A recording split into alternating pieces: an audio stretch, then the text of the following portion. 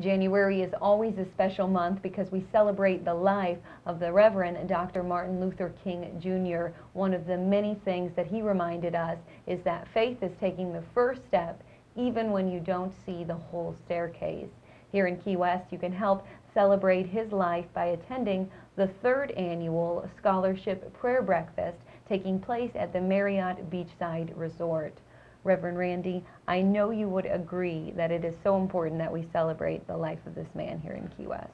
Absolutely. Dr. King is often thought of as a leader of the civil rights movement, especially around issues of racial equality. But actually, his ministry is focused on the larger issue of justice. It was worked out through the civil rights movement, but also through economic justice, interpersonal justice, and a number of issues. So he's that central figure in the 20th century that leads us toward a more inclusive lifestyle, not just for some people, but for all people. Well put, Reverend Randy. And let's talk about this breakfast. This is the third annual prayer breakfast. That's right. We began um, two years ago, so this will be the third annual. It'll be on Monday, the 21st of January, 8 a.m. out at Beachside Marriott. It's an opportunity for the community to come together in a setting of both prayer and challenge, to be able to remember his words but realize they don't belong in history, they belong in today. They belong in our actions. And so the breakfast will include not only a sumptuous breakfast, but also a dramatic presentation of his work, Why We Can't Wait, done by local young people. And then the main address is by Dr. Charles Adams. He's minister of the Hartford Memorial Church in Detroit. This is an outstanding speaker and man. He's been a professor at Harvard University. He also has been chosen as the outstanding black church preacher in many years. So we have an opportunity to see a world-class event that morning. Reverend Randy, I know that you've attended the past two breakfasts right. that we've had. What did you learn the most from these breakfasts? I think the most I learned was one that the common language of heart and spirit leading us to better actions in our lives can inspire us to do good not only on global scales but on local scales bringing together people of all religious traditions, bringing together people of all different colors, persuasions, and interests to realize that we have a common destiny, that we are woven in a common fabric, as Dr. King would have said.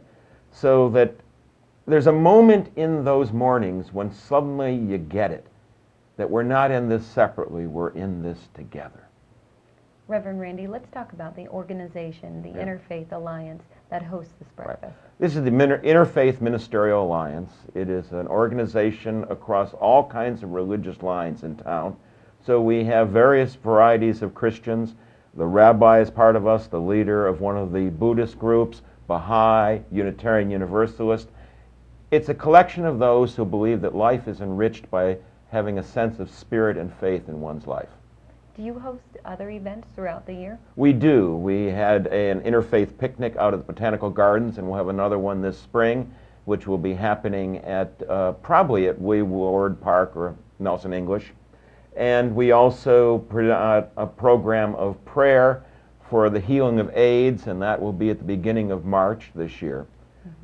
So a number of events, and there are other ones that are on the planning boards right now for this year. Wonderful. Well, the most important one right now will be taking place next Monday at Beachside Marriott. Reverend Randy, I think that we could probably talk a whole show, multiple shows, in fact, about Martin Luther King Jr., couldn't we? We certainly could, because this was a man of diverse interests and directions, uh, tremendous depth. He studied for his doctorate at Boston University where he explored the intersection of religion and social action. Mm -hmm. So important to understand that we can't just sit on Sunday morning in a pew or Saturday morning in a pew and think that life will change just because we're sitting there. Right. So it would be very interesting. Now, some people may want to attend this breakfast, and so there is an opportunity to get tickets, and I would remind them uh, if they uh, write to MLK at keywestinterfaith.org, they will be in touch with the person who can help get them a ticket to this event. And tickets are still available to the public? There's a limited number of them available. We've mm -hmm. uh, filled the hall in past years, and it looks like we'll be doing that again this year.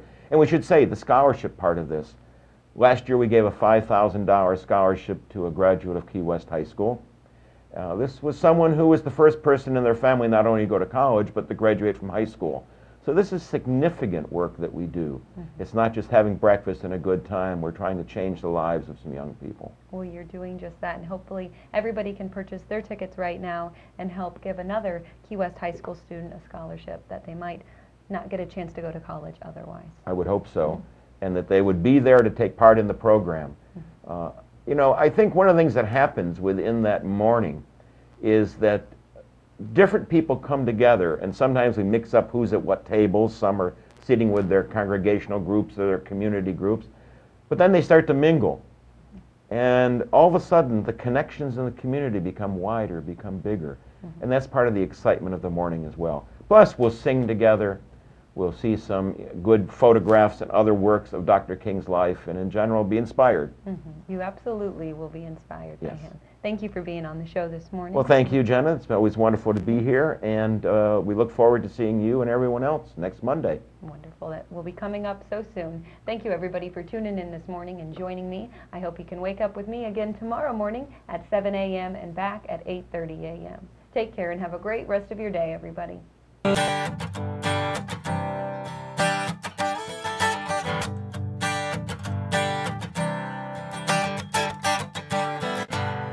It'll be a